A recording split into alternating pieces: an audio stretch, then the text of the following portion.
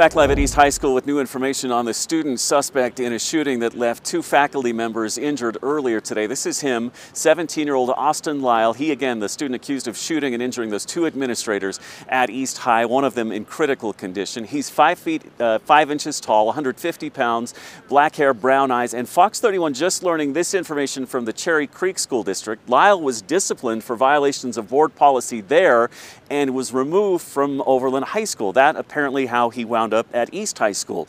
Police say he's likely in a red 2005 Volvo XC90 similar to the one in this picture with the Colorado license plate BSCW10. If you see him or know where he is, be sure to contact police just as soon as possible. We mentioned, uh, mentioned I should say, those faculty members. They were taken to Denver Health earlier today, and Andrea Henderson joins us live from the hospital with the latest on their condition. Andrea.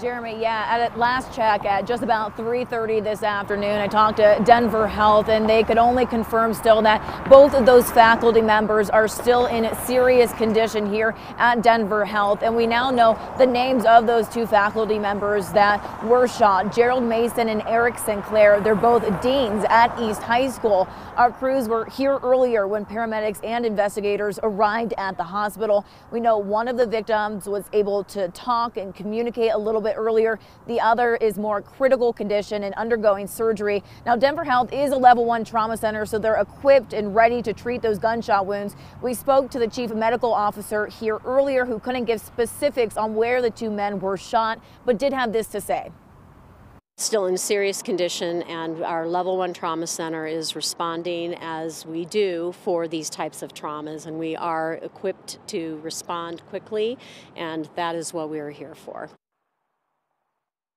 And I asked Denver Health if the one faculty member is still undergoing surgery at this time. They couldn't give any additional details, but I've been in constant contact with Denver Health and will bring you the very latest if I get any more information on their conditions. Live in Denver, Andrea Henderson, Fox 31.